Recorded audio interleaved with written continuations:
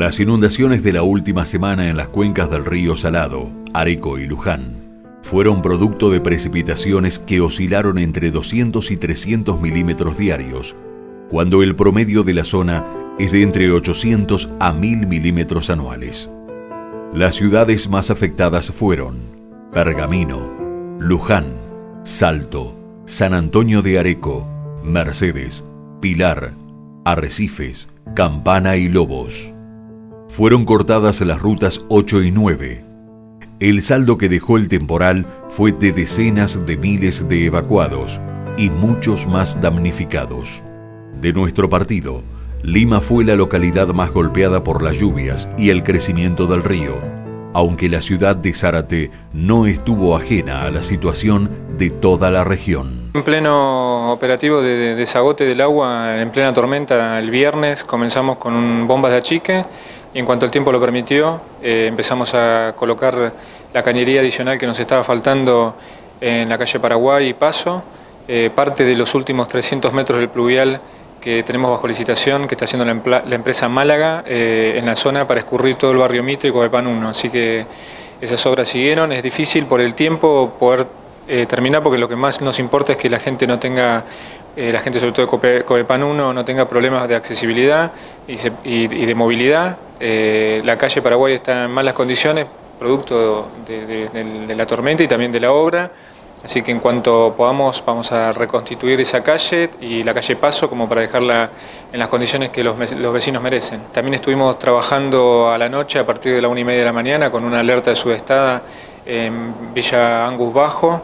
Eh, hay una obra de Promeva, estamos, está saneado todo el canal de la calle Tala, pero viste que el tema de la sudestada lo que provoca es que eh, vos tenés muy buenos sistemas para que escurra el agua hacia el río, pero cuando el agua del río quiere entrar, entra por los mismos canales que vos tenés para desagotar la ciudad. Entonces se nos daba el fenómeno de que estaba lloviendo y que el río estaba subiendo. Eh, nosotros tenemos una cota de intervención del río en 240, así que a partir de 1,95 m pusimos en estado de movilización el corralón, movilizamos una cuadrilla que fue hacer los, cierres que hay que hacer a los conductos pluviales para que el agua del río no entre. Eh, acercamos una bomba con el equipo de fuerza para esa bomba de un millón de litros hora y la dejamos estabilizada en el lugar. No hizo falta todavía intervenir. En este momento mandamos un equipo más con una retroexcavadora para contener cualquier talud que haya que hacer en el caso de que este, la situación se agudice, pero no hizo falta. Y por otro lado, enviamos otro equipo de servicios públicos al barrio Saavedra para analizar la situación de la, división entre barrio Saavedra y barrio Santa Lucía en el límite con Campana. Hay un problema ahí de posible anegamiento que lo estamos tratando de resolver y contener. Así que eso, bueno, eso es un poco el trabajo que hicimos hoy en el fin de semana y durante los primeros días de esta semana estuvimos trabajando en el saneamiento de cuencas, tanto en los Juan de Antártida Argentina como en el barrio San Miguel eh, y tratando de que todos los barrios no tengan problemas de escurrimiento. Así que por ahora la situación en Zárate está eh, bastante estabilizada. La Municipalidad de Zárate puso en acción y guardia permanente a su comité de crisis y áreas de servicios, de modo de dar respuesta y llegar a los vecinos y zonas afectadas. Una reunión muy importante en Lima donde eh, se está trabajando mucho para trabajar en la aliviación de las inundaciones. Sí, el intendente Osvaldo Cáfaro decidió ayer que el equipo completo de servicios públicos de Zárate colabore con el Corralón de Lima, así que vinimos con todos los equipos, salvo uno que quedó en Villangus trabajando con, el tema de la sudestada. Eh, vino acá al completo con cinco cuadrillas que se integraron a las cuadrillas que ya tiene Edgardo Vigliano trabajando en Lima. Eh, así que nos pusimos a disposición de Edgardo, hicimos una pequeña reunión a las ocho y media de la mañana para distribuir el trabajo, así que las cuadrillas ya están trabajando desde esa hora eh, en, los, barrios que nos indicó Edgardo que estaban necesitando. ¿Sigue el mal tiempo? ¿Sigue la sudestada? ¿Cómo está la situación hoy? Un gran trabajo que hizo la gente de Lima, desagotando toda la, la, ciudad en los lugares donde teníamos pluviales que funcionó muy bien. Teníamos mucha cantidad de agua viniendo de los, de los campos y trabajamos hace tres días que estamos trabajando con bombeo de 1.600 metros cúbicos eh, por, por hora. Eh, con, una cuadrilla completa, contratada eh, y trabajando con los equipos de servicios públicos, ayudando al trabajo que ya estaba haciendo la gente de Lima, así que con una gran colaboración también de la empresa nucleática argentina, el Corralón de Zárate y el Corralón de Lima, eh, pudimos aliviar la situación de agua que estaba estancada en los campos al sur y al norte de la ciudad, agrandando los conductos, agrandando las zanjas, este, para permitir que el agua descurra con mayor facilidad. En el, en el caso de la sudestada, eh, nos comentaba Edgardo y eh, la gente de Lima que no, no afectaría tanto porque hay una diferencia de nivel entre el terreno y el río, así que ese problema acá en, Lima no, está como si en Zárate. Eh, la verdad la pasamos bastante mal, mucha agua, mucha agua de golpe.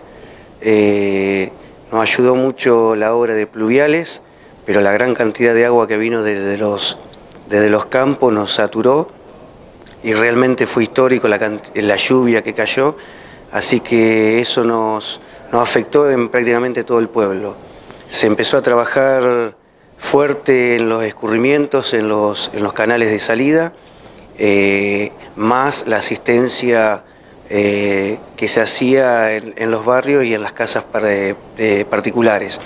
En este momento eh, no, hay, no hay evacuados, hay anegamientos, sí, pero ahora las cuadrillas que nos están colaborando, tanto del Corralón de Zárate como de, Nucleoeléctrica Argentina, nos están ayudando a que el trabajo se pueda hacer más rápido.